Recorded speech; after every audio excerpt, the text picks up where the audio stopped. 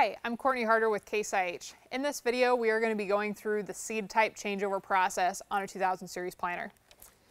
The first thing we are going to do in that seed type changeover process is reference our recommended settings chart. This chart is available either in your ops manual or in your productivity guide. And what this recommended settings chart does is it explains each of the crop kit settings that you need, your meter baffle settings, as well as your bulk fill settings and vacuum settings that pertain to each seed type. So let's go through a few of those adjustments that we need to physically make on the planter. The first one is going to be your meter baffle setting.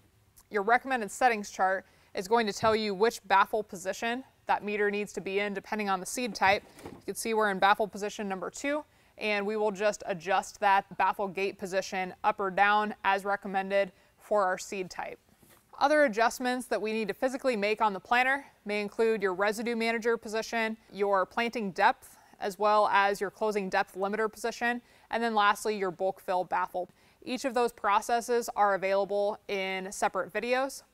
Regarding in-cab settings, those can be found on your Pro 700 display and we recommend making an adjustment to your work condition. That is referenced in another video as well. For more information, reference your operator's manual or your productivity guide or talk to your local Case IH dealer.